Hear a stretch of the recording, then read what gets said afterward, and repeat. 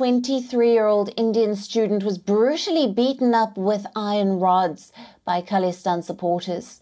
The incident took place on Friday when this student tried to oppose the activities of radical elements.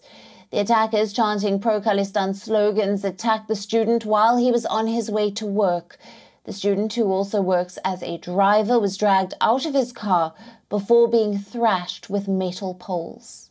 As per the victim, two assailants also video recorded the incident. With major injuries to his head, legs, and arms, the student was rushed to the Westmead Hospital. The case has been reported to the New South Wales Police. The police confirmed that four men repeatedly assaulted the Indian student.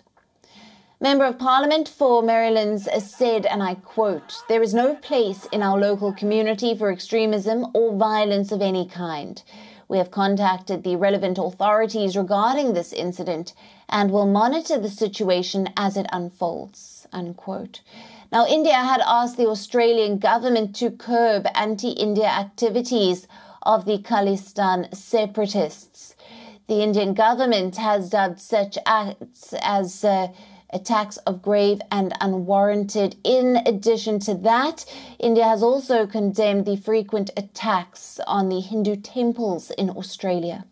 India has been raising the issue of the pro Khalistan activities in some countries, including Australia, Germany, UK, and the United States.